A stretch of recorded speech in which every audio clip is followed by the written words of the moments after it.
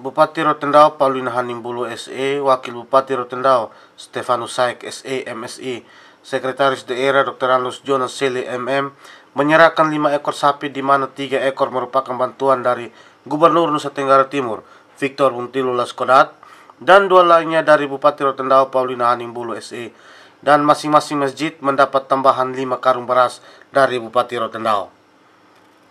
Ini merupakan bantuan dari pemerintah provinsi dalam hal ini Bapak Gubernur, uh, tetapi tidak terlepas juga kami dari pemerintah uh, kabupaten bahwa tahun ini kami memberi ada empat masjid yaitu Oseli, Batu Tua, Oengai, dan Masjid Medina. Bantuan ini diberikan secara bergilir oleh pemerintah setiap tahun di mana masjid yang berhak mendapatkan tahun ini yakni Masjid Batu Tua, Masjid Metina, Masjid Oiseli, Masjid Oenggaya. Supaya diketahui bahwa bantuan-bantuan ini tiap tahun itu tentunya dia beredar. Jadi kalau tahun ini sudah di sini, tahun depan lagi kita harus keliling masjid-masjid yang ada di Rotendao ini. Karena uh, saya tahu kami bahwa tahun lalu Oseli tidak kebagian ya, belum ya. Jadi tahun ini kami ada di Oseli dan Batu Tua, Oengai dan uh, Masjid Metina. Dan uh, harapan bahwa ini merupakan uh, motivasi bagi kita semua. Bupati Rotendao Paulina Hanimbulu kepada media di sela-sela pembagian hewan kurban di Masjid Narul Bahar Oseli mengatakan penyerahan hewan kurban dilakukan sebagai bentuk partisipasi pemerintah Provinsi Nusa Tenggara Timur dan pemerintah Kabupaten Rotendao kepada umat muslim di Kabupaten Rotendao yang merayakan Hari Raya Idul Adha 1441 Hijriah 2020 Masehi yang jatuh pada Jumat 31 Juli 2020. Ada titip salam dari Bapak Gubernur, uh, secara fisik Bapak Gubernur tidak bisa hadir bersama-sama dengan kami, tetapi uh, Bapak Gubernur hanya menitipkan lewat pemerintah kabupaten untuk dalam bentuk bantuan kurban untuk beberapa masjid yang ada di Rotendao.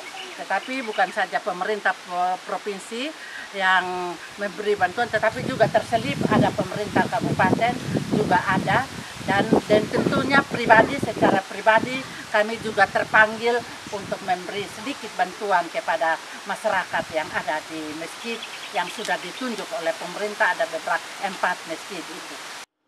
Pengurus Masjid Narul Bahar Oeseli, Akbar Balik merasa bersyukur karena walaupun mereka berada di pinggiran namun tetap mendapat perhatian dari pemerintah. Selama ini, baru kali ini uh, pemerintah punya perhatian terhadap kami masyarakat yang paling jauh masyarakat yang paling dik sudah uh, dapat bantuan daripada seekor sapi sesuai dengan hari raya Idul Kurban. Kami masyarakat sini sangat gembira sekali dan rasa bersyukur karena walaupun kami masih begini tapi pemerintah ada punya perhatian terhadap kami. Di tempat yang terpisah, Imam Nahrawi berterima kasih kepada Gubernur Nusa Tenggara Timur dan Bupati Rotendao yang telah memberikan hewan kurban bagi umat muslim di sejumlah masjid di wilayah Kabupaten Rotendao dan khususnya di Masjid Metina. Pihak pengurus masjid akan menyalurkan kepada orang yang membutuhkan. Saya atas nama panitia korban mati Ano menyampaikan limpah banyak terima kasih kepada pemerintah daerah atas bantuan kurban yang telah diberikan kepada kami dan saya terima segala sesuatunya akan saya sampaikan kepada yang berhak mudah-mudahan kita semuanya ini dalam keadaan sehat walafiat dan mudah-mudahan kita dilaksanakan tugas kita sebagai panitia melaksanakan kurban di Masjid Anwar kita melaksanakan dengan dengan baik.